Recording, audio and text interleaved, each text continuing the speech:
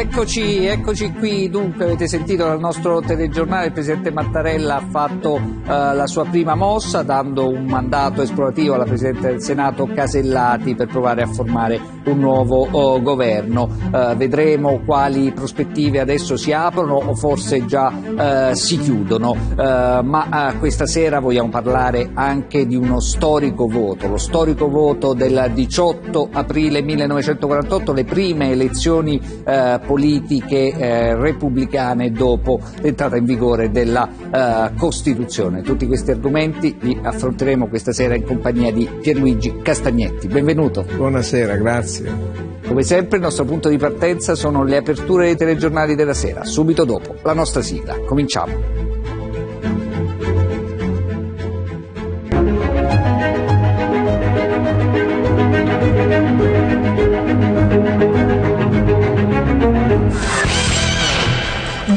Di consultazioni. Faremo tutto in tempi rapidi, ha detto la Presidente del Senato Casellati, dopo aver ricevuto da Mattarella il mandato esplorativo. E nel pomeriggio ha avviato il calendario delle sue consultazioni. Il primo incontro con i 5 Stelle.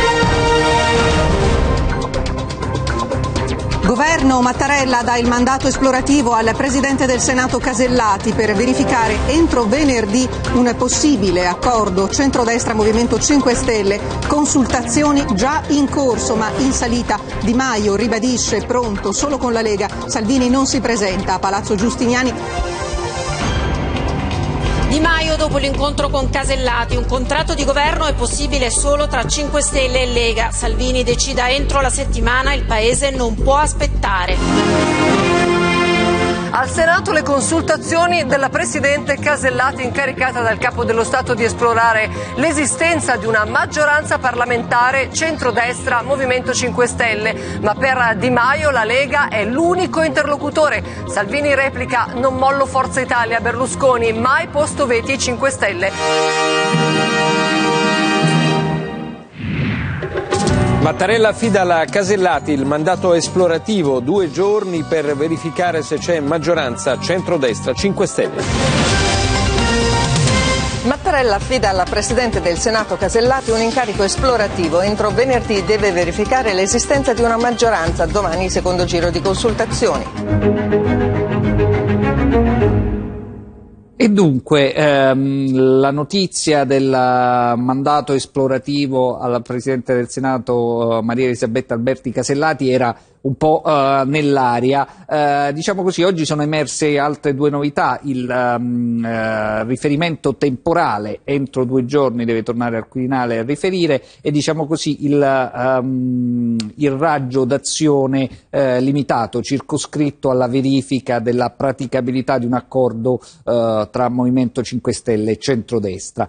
Ci aiuti a leggere questa situazione che si è determinata.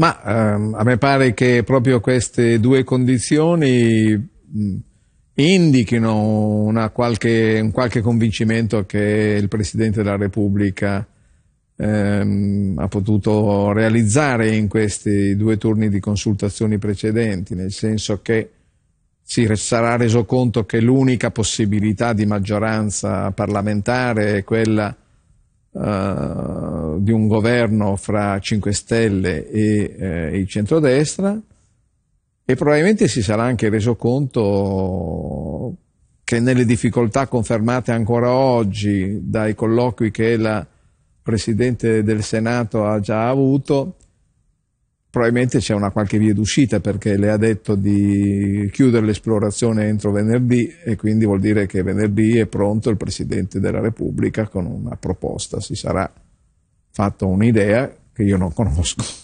Eh, I costituzionalisti eh, dicono um, che i poteri del Presidente della Repubblica sono un po' a fisarmonica in queste eh, situazioni, ovvero eh, si eh, restringono quando i partiti hanno, oh, riescono facilmente a trovare accordi parlamentari e quindi eh, riescono a mettere in piedi un'alleanza di governo e, e al contrario si aprono, si allargano eh, quando questa eh, situazione, come sembra il caso attuale, eh, non, non, si, non matura? Beh, ehm, inevitabilmente il Presidente della Repubblica ha il compito di costruire una maggioranza per poter arrivare all'affidamento di un incarico e dunque deve ricorrere anche alla fantasia. Nel passato abbiamo visto i Presidenti della Repubblica che di fronte ad alcuni incagli, alcune difficoltà, si sono, non dico sbizzarriti, ma hanno cercato delle altre, delle vie d'uscita che non sono eh, canoniche. penso ad esempio al eh, predecessore di Mattarella, il presidente napolitano, quando si è inventato quella commissione dei saggi, poiché il mandato doveva essere vincolato all'approvazione di una legge di riforma, uh, della riforma della legge elettorale, allora si è inventato, e anche della riforma costituzionale, si è inventato eh, come dire, un, un, un, un primo, ma sì, ma un primo lavoro grezzo che eh, il Presidente della Repubblica consegnava al Presidente del Consiglio incaricato. Ma anche quello è stata sicuramente una iniziativa senza precedenti, inedita. Insomma, e in questo senso si può dire che il Presidente della Repubblica, dovendo arrivare al risultato, se le forze politiche non l'aiutano, deve aiutarsi da solo con qualche altra iniziativa. E quindi staremo a vedere eh, entro oh, venerdì cosa accadrà. Adesso eh, con il nostro oh, Montecitorio oh, Selfie, Augusto Cantelmi, il nostro parlamentarista, ci ripropone un po' la lettura della giornata eh, di oggi con il col suo stile che ormai conoscete. Vediamolo e poi torniamo in studio e prendiamo la macchina del tempo, andiamo in un'epoca eh, lontana per capire quanto siamo lontani da quel 18 aprile 1948, quanto invece è rimasto. Il Montecitorio Selfie.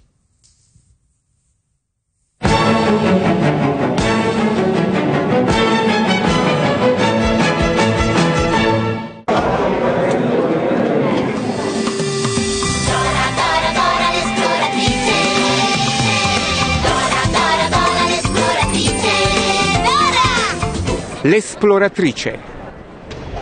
Giorgetti, una missione impossibile quella della Casellati? Eh. Ma poi tocca a lei dopo la Casellati? Mi pare che diciamo, è una decisione che ha dovuto prendere il Presidente per sbloccare la situazione. Non credo che verranno grande frutto ha il compito di accertare entro 48 ore che i veti non sono superati. E poi un altro vedremo chi potrà fare la maggioranza 5 Stelle e PD, se non c'è neanche questo eh, sarà il governo del Presidente. Presidente, quella della Casellati è una missione impossibile? Lo sa. Vediamo. Ci scommetterebbe? Ma, non lo so. Mission Impossible. Eh, questo deve chiederlo alla Casellati, però è al centro-destra. Ciao. Senti, scusami. Mantieni le promesse, Gigi. Manteniamo le promesse, Gigi. Senti, il mandato alla Casellati voi ci credete che faccia Ma io di politica non me ne intendo, noi facciamo mercati. Grazie. In tempi molto rapidi. Grazie.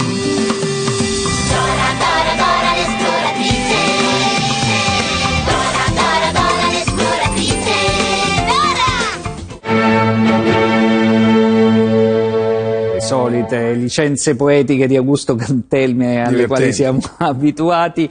Eh, andiamo, andiamo, al 18 aprile 1948. Alcuni dei pareri eh, raccolti eh, da Augusto eh, sono stati presi proprio all'Istituto Sturzo, dove stamattina si è eh, svolta una giornata di studi dedicato proprio a quel voto. Lei era tra i eh, relatori, peraltro forse non è un caso che i, i pareri un po' più ragionanti provenissero proprio da lì e le immagini adesso che vedremo a corredo della nostra conversazione sono sempre eh, dell'Istituto Sturzo relative eh, ad una bella mostra dedicata proprio a questa eh, vittoria italiana. Questo è il titolo eh, della mostra. Io vorrei partire da qui perché quel voto uh, schiuse al nostro paese uh, anni, decenni di prosperità, di sviluppo, di benessere, di pace, quindi fu davvero una vittoria italiana, nel senso una vittoria di tutti uh, gli italiani, lo possiamo dire questo ex post, anche degli sconfitti. Beh, come si è soliti dire adesso, sicuramente quel voto è stato un evento periodizzante, nel senso che quel voto ha incanalato lo sviluppo della democrazia italiana nei decenni successivi, nel senso che quel voto ha fatto delle opzioni nette. Eh, non c'è dubbio, eh, già a Yalta c'era stata l'assegnazione del nostro paese all'area occidentale, ma il nostro paese non aveva avuto ancora occasione di validare questa scelta che era stata fatta dai quattro vincitori. Il 1948 è stato l'anno in cui con queste elezioni sostanzialmente si è confermata questa assegnazione. Quello che accadrò, accadrà dopo il 1948, l'adesione alla Nato, la nascita dell'Unione Europea, ehm, il ruolo eh, di attore di pace nell'area del Mediterraneo che ha avuto il nostro Paese, è frutto di quella scelta. Gli italiani hanno capito che si trattava di scegliere per la libertà per sempre o per un rischio perché in quel momento le sinistre erano legate ideologicamente e politicamente all'Unione Sovietica.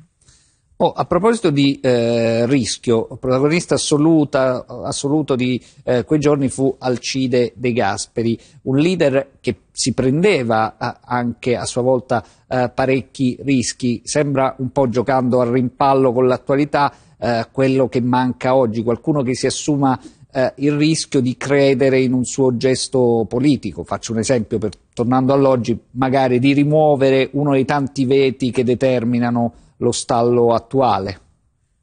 E non c'è dubbio che questa è stata la vittoria di De Gasperi, è inutile che riduciamo il ruolo di De Gasperi.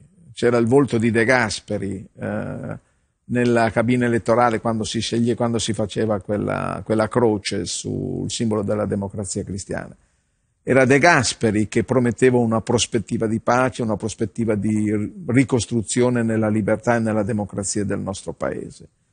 Era quel De Gasperi che aveva, era già stato parlamentare prima del fascismo, all'inizio dell'esperienza fascista, aveva un'esperienza internazionale perché è stato parlamentare anche a Vienna, prima a Innsbruck e poi a, Vienna. Quindi era un, un De Gasperi molto esperto, che metteva a disposizione il suo senso dello Stato e la sua cultura di governo. Eh, a me piace ricordare perché è uscito recentemente eh, un libro sulla biografia di Sergio Paronetto. A Roma, negli anni 39 e 40, um, eh, il, eh, un dirigente dell'IRI, eh, a un certo momento diventa vice direttore, Paronetto, un ragazzo perché è morto a 34 anni, era riuscito a fare una scuola uh, di formazione non politica, di formazione al governo della democrazia, quindi prevedere negli anni 39, in pieno regime fascista, eh, e 40, che la classe dirigente cattolica avrebbe avuto il destino di governare una democrazia e doveva imparare a governare la democrazia perché eh, non c'erano state altre esperienze che avessero insegnato come si fa a governare in democrazia. Tra gli allievi di quel cenacolo c'erano De Gasperi, c'era Gonella, c'era Spataro, c'era Guido Carli, c'era Saraceno, questo per dire che erano seminari permanenti in via Reno eh, in cui si trovavano per discutere come governare la democrazia. Si formava una classe dirigente. Eh, mentre abbiamo visto scorrere delle immagini proprio dell'epoca, eh, manifesti elettorali, foto di De Gasperi in campagna eh, elettorale, le vorrei chiedere questo. Non solo eh, insomma, De Gasperi vinse le elezioni, ma gestì in un certo modo eh, anche eh, la vittoria, insomma, eh, promuovendo un anticomunismo democratico eh, che piano piano eh, riuscì a far entrare nel gioco eh, parlamentare anche gli sconfitti, i socialisti e i comunisti. Ecco, questo fu importante tanto quanto l'affermazione forse elettorale per lo sviluppo che ebbe il, la politica italiana. Beh, intanto mh, mi sono accorto di non aver risposto alla domanda precedente. Sicuramente De Gasperi è il vincitore anche perché si è assunto il rischio, non era sicuro che vincesse la democrazia cristiana. Il fronte, si chiamava così l'alleanza fra socialisti e comunisti, erano, il fronte era convinto di avere in mano il risultato delle elezioni. Longo, che era il direttore di Vie Nuove, il 18 pomeriggio, il 18 aprile pomeriggio, fa l'editoriale della rivista che sarebbe dovuta uscire all'indomani, eh, sulla ipotesi di una vittoria che invece non c'è stata. Ovviamente quelle, quei numeri di riviste sono andati tutti al macero, insomma, no? Eh, solo negli ultimi giorni, eh, allora non c'erano sondaggi, per la verità c'è stato un sondaggio Doxa, il primo sondaggio Doxa di, di, di, di agli albori della Fegis, sondaggistica. Ecco, sì, che, che, venne poi trattato dall'Avanti e dall'Unità come un sondaggista al soldo della democrazia cristiana, che aveva previsto che la democrazia cristiana avrebbe avuto il 45, poi ha avuto il 48,5% dei risultati eh, dei, dei, consensi. Massimo storico. E il eh, partito e il fronte della sinistra avrebbe avuto il 27%, poi arriverà a averne il 31%.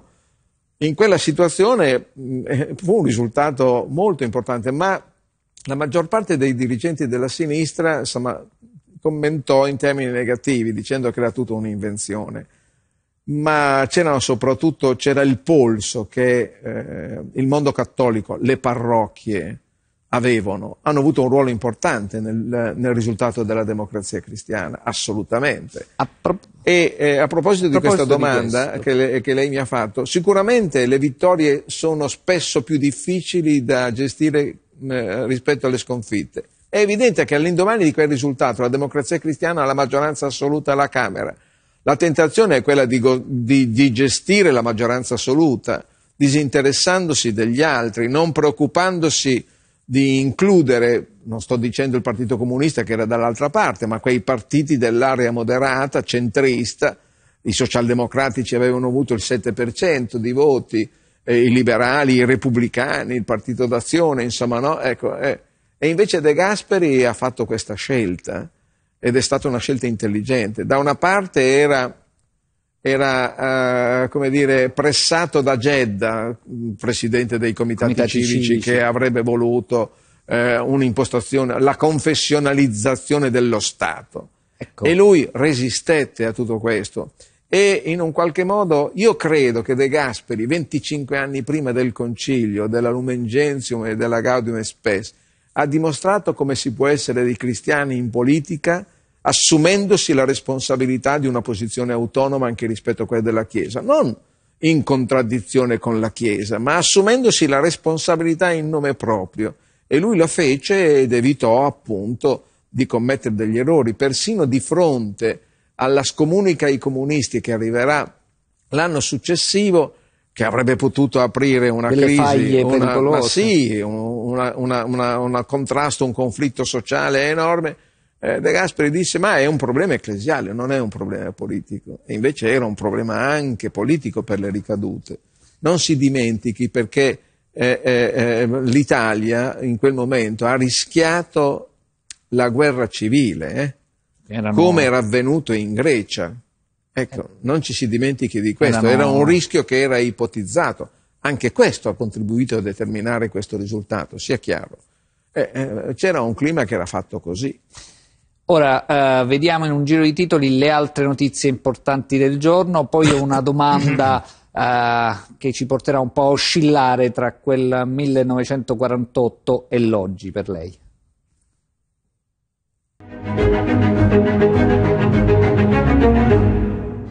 Nessun ospedale può, pre- può, prendere la vita del mio bambino. È volato a Roma il papà del piccolo Alfi, il bimbo per il quale i medici inglesi sono pronti a staccare la spina. Ha chiesto aiuto al pontefice. Francesco ha risposto. Orrore in una casa di riposo. Le telecamere nascoste svelano botte, insulti e maltrattamenti di ogni genere agli anziani ospiti di una struttura di Castel San Nicolò in provincia di Arezzo. Sei dipendenti indagati, ignari di tutto, i parenti. Uno studente di Lucca insulta e minaccia in classe un professore per un brutto voto tra le risate dei compagni. La scena ripresa e diffusa sui social, tre minorenni indagati. Nord Corea incontro segreto a Pasqua tra il segretario di Stato americano Pompeo e Kim Trump, dialogo avviato. Rallenta la crescita dell'Italia, fanalino di coda dell'Eurozona, produzione inferiore all'attesa, avverte Confindustria, il settore auto il più colpito e slitta al 2021 il pareggio di bilancio, Fondo Monetario Internazionale, pesa l'incertezza politica, servono riforme.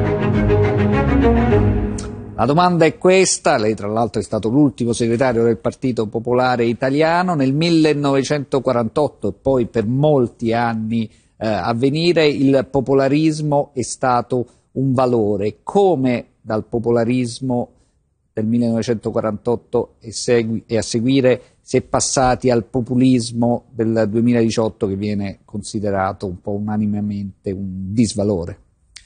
Ma guardi, il popolarismo è la valorizzazione del pensiero del popolo, è il riconoscimento che il popolo ha una sua soggettività originaria, eh, così come la persona umana ha la sua soggettività eh, eh originaria, il popolo nella, è la persona nella, in una dimensione comunitaria.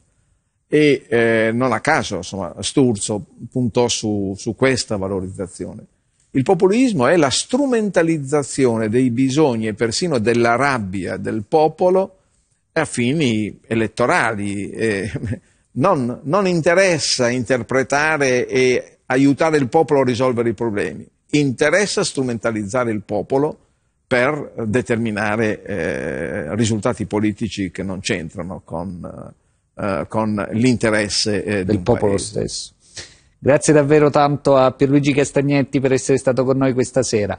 Grazie a voi che ci avete seguito da casa, ricordate la mostra dell'Istituto Sturzo fino al 22 eh, aprile per chi passa da Roma. Il nostro Dulcis in Fundo questa sera eh, è dedicato al film Tutti insieme appassionatamente che 52 anni fa prese l'Oscar. Chissà, Tutti insieme appassionatamente potrebbe anche essere una formula governativa eh, dei prossimi eh, giorni. Poi restate su eh, TV 2000 perché inizia un nuovo ciclo di film, tutti, tutto il cinema del mondo. Il film di questa sera è Una stella in cucina, la storia di una uh, domestica uh, nella residenza uh, diplomatica canadese di Nuova Delhi in India. Noi invece, se volete, ci vediamo domani. Ciao.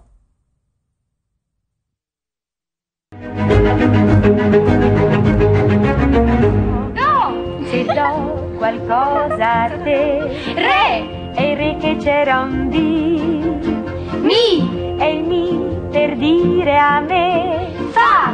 La nota dopo il mi, sole, sole in fronte a me, la, se proprio non è qua, sì, se non ti dico no, ed è così che torna il do, se do qualcosa a te, re, e che c'era un di,